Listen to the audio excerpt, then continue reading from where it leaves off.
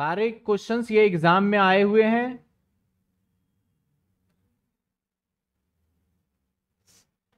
और ये चैप्टर मैं बोलू ना तो एग्ज़ाम में पूछा भी जाएगा। और बाकी कैश फ्लो और अदर जितने भी चैप्टर हैं ना आपकी किताब में, उसका तो टेन परसेंट भी नहीं है ये। आप भी देख रहे हो कि सिंपल सा क्वेश्चन है, कुछ एक पॉइंट पूछता है और हम जवाब दे देते हैं। ठीक है? चलिए, सवाल में क्या है? जब कभी भी आपको नॉर्मल रेट दे देगा ना तो समझ जाना कि आपसे वो डिविडेंड ईल्ड वाला मेथड पूछने की कोशिश कर रहा है। यही हमारा था नॉर्मल बाकी यहाँ पे नेट एसेट्स भी हो सकता है तो मैं दोनों मेथड से करके दिखा दूँगा क्या आ रहा है, ठीक है? कहता है the following balance sheet of P merchandise limited 31 March, हमें एसेट्स लाइबिलिटी और साथ के साथ कुछ एसेट्स दे दिया। और हमें प्रॉफिट निकालने के लिए उसने कुछ एक प्रॉफिट दे रखा है। जिसमें से सेल्स दे दिया उसने ऑपरेटिंग कॉस्ट दे दिया और इंटरेस्ट दे दिया, खर्चे, यानी इनकम दे दिया और उसके कुछ खर्चे और हर साल का दे रखा है।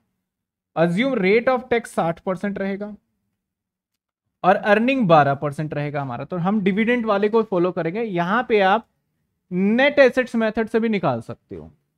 सर नेट एसेट्स मेथड से कैसे निकालेंगे? टोटल ऑफ़ एसेट्स कर लेंगे। उसमें से माइनस कर देंगे हम प्रेफरेंस शेयर कैपिटल, और एक हमारा जो प्रिलिमिनरी एक्सपेंस होता है ना, ये भी माइनस हो जाता है। तो हम दोनों से कर लेते हैं। पहले इसको नेट एसेट्स मेथड से निकाल लेता हूँ। नेट एसेट्स मेथड से। सर नेट एसेट्स मेथड से हमारे पास टोटल एसेट्स गिवन है। सर टोटल एसेट्स क्या गिवन है? सर दैट इज़ आठ लाख पच्चीस हज़ार। सवाल ने कहा, नहीं, मैं अपनी मर्ज़ी से निकाल रहा हूँ। माइनस कर दो इसमें से क्या प्रिलिमिनरी एक्सपेंस दैट इज़ कितने का था हमारा? माइनस कर दो प्रेफरेंस शेयर कैपिटल कितने का है? है ही नहीं। चलो। माइनस कर दो एक्स लाइबिलिटी तो लाइबिलिटी तो सर है। कितने हैं? चार लाख।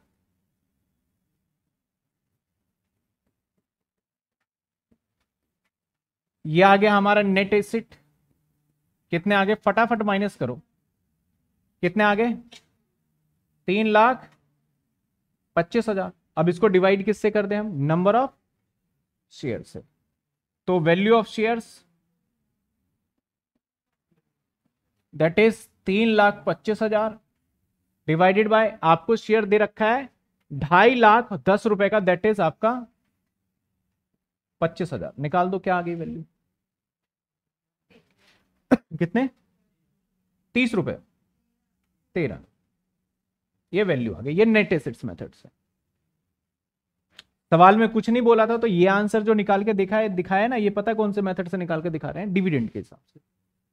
तो नेट एसेट्स मेथड से आगे अब डिविडेंड वाले से भी देख लेते हैं। एग्ज़ाम में आया हुआ क्वेश्चन है बीकॉम ऑनर्स में क्वेश्चन आया। बच्चों ने, बच्चे ना इस वाले सवाल में ये देख के घबरा गए। एसेट्स हमारा चाहिए वो एसेट्स जिसकी वैल्यू हो मार्केट वैल्यू और हमेशा preliminary expense underwriter share discount on issue of shares इनका मार्केट वैल्यू हमेशा ज़ीरो ही होता है. कभी भी आप प्रिलिमिनरी एक्सपेंस को क्या है, वो तो आपका एक फिक्टिशियस एसेट्स है. इसको मार्केट में बेचने जाओगे तो मार्केट वैल्यू बताए या ना बताए ऑलवेज क्या होगा? ज़ीरो इसलिए क्या करते हैं? माइनस कर देते हैं. मैंने पीछे फॉर्मेट में नहीं लिखा था, लेकिन मैंने अभी बता दिया आपको. ठीक है? तो बच्चे इस वाले पॉइंट को देख के घबरा गए सर, ये क्या है? तो जब कभी भी आपको तीन चार सालों का प्रॉफिट दे देगा तो हमेशा एवरेज प्रॉफिट का इस्तेमाल करिएगा। हमेशा किसका लेना होगा हमें? एवरेज प्रॉफिट का। तो चलिए, कितने साल का प्रॉफिट था? हम पहले प्रॉफिट को निकाल लेते हैं। कितने साल का दे रखा था?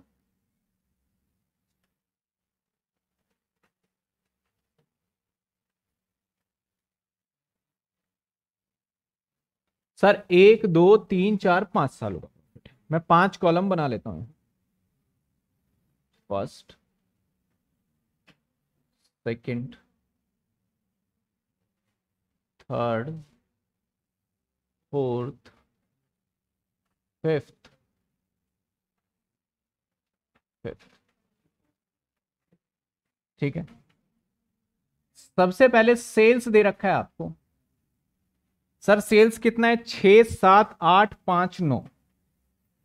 छ सात, आठ, और क्या था? पाँच और नौ। पाँच और नौ लाख। ऊपर ईयर भी लिख ही देते हैं सिस्टमेटिक तेरह, चौदह, पंद्रह, सोलह, सत्रह। दो हज़ार तेरह, चौदह, पंद्रह, सोलह, सत्रह। ये हम निकाल रहे हैं प्रॉफिट कैलकुलेट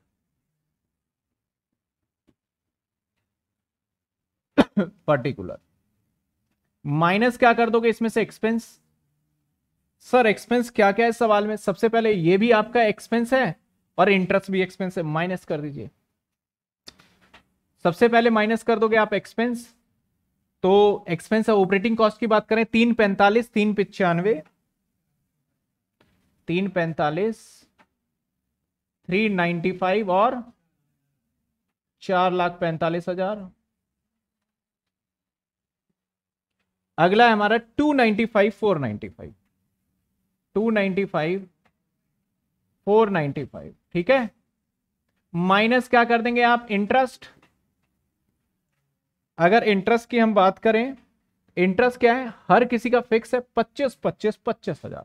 पच्चीस हज़ार ही है ना? इंटरेस्ट हमारा पच्चीस पच्चीस पच्चीस।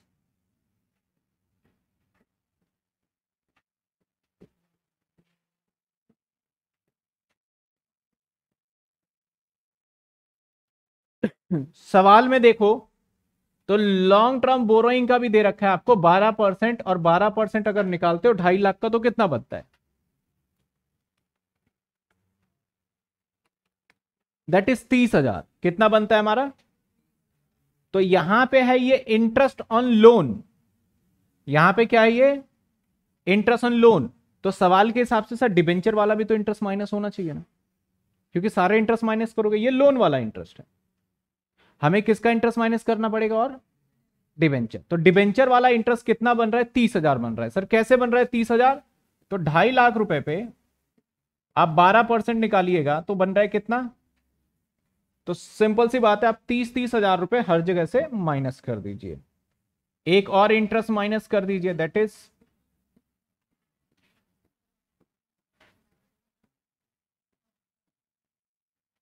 अब यहाँ एक प्रॉफिट जनरेट हो जाएगा। हर एक का निकालिए, हर एक स्टूडेंट एक एक का निकाल ले, जल्दी हो जाएगा। पहले का मैं निकाल रहा हूँ, दूसरे का कोई और निकाल ले। दो लाख। दूसरे का बताइए। दूसरे का ढाई लाख। चलिए, दूसरे का ढाई लाख। तीसरे का? थ्री लैख? इसका? पंद्रह और सोलह का भी निकालिए।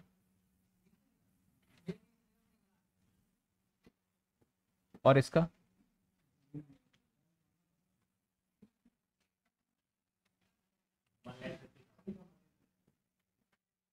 इसके बाद ये आ गया प्रॉफिट क्या इसमें से टैक्स माइनस है? क्या इस प्रॉफिट में से टैक्स माइनस है? नहीं है. तो बिफोर टैक्स माइनस क्या कर देंगे इसमें से? टैक्स टैक्स का रेट आपको सिंपली क्वेश्चन में साठ परसेंट कह रहा था. तो आप साठ परसेंट निकाल लेंगे. इसका निकलेगा साठ परसेंट तो एक बीस. इसका साठ परसेंट एक पचास. इसका साठ परसेंट, एक अस्सी, एक पचास का साठ परसेंट, नब्बे और तीन पचास का साठ परसेंट, दो दस। अब जो हमारे पास प्रॉफिट निकल के आएगा that is profit after tax है कि नहीं?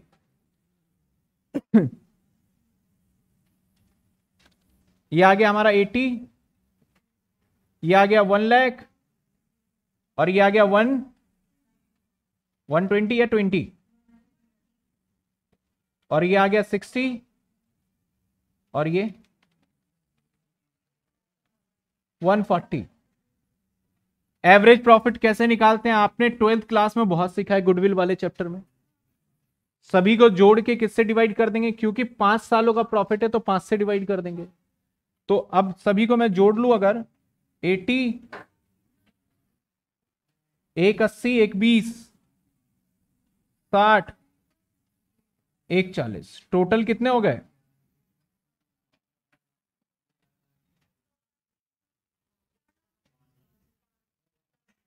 पाँच लाख हुए। कितने आ गए? आपका प्रॉफिट आ गया एक लाख दैट इज़ प्रॉफिट क्या आ गया आपका? पहले यहाँ तक देख लीजिए आप। ये सिंपल सा इक्वेशन है जो उस क्वेश्चन में बोला हुआ था। प्रॉफिट कितने आ गए? एक लाख आ गए।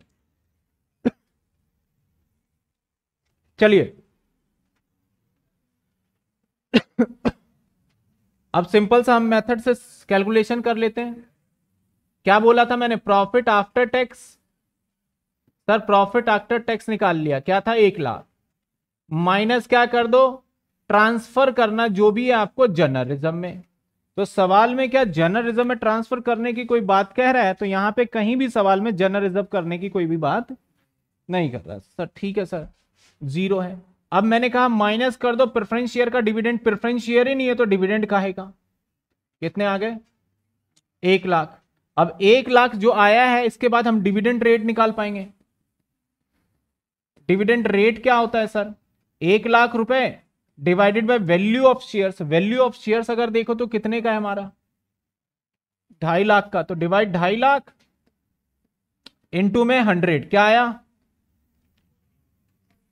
फोर्टी अब डिविडेंड वैल्यू पर शेयर निकालने के लिए क्या था? जो हमने डिविडेंड रेट निकाला डिवाइड कौन सा रेट करते हैं? जो दे रखा होता है सवाल में, और इनटू में पेड अप कैपिटल तो वैल्यू पर share is equal to dividend rate divided by जो आपका नॉर्मल रेट है या कैपिटल रेट भी बोल देते हैं इसे हम।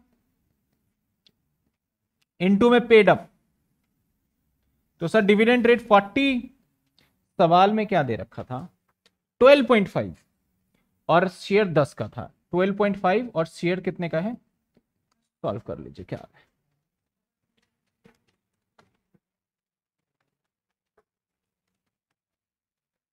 Thirty two. क्लियर है? तो जो पीछे आंसर दे रखा था वो इस वाले मेथड से था, मैंने इससे भी कर दिया इसको। अब एग्ज़ाम में तो बोला जाएगा वैसे, अगर नहीं बोला गया तो आपकी इच्छा इससे करें, लेकिन मैं सजेस्ट करूँगा जब ये वाला रेट मिल जाए ना तो समझ जाइए कि एग्ज़ाम ने डिविडेंट ईल्ड वाला ही पूछने की कोशिश कर रहा है आपसे।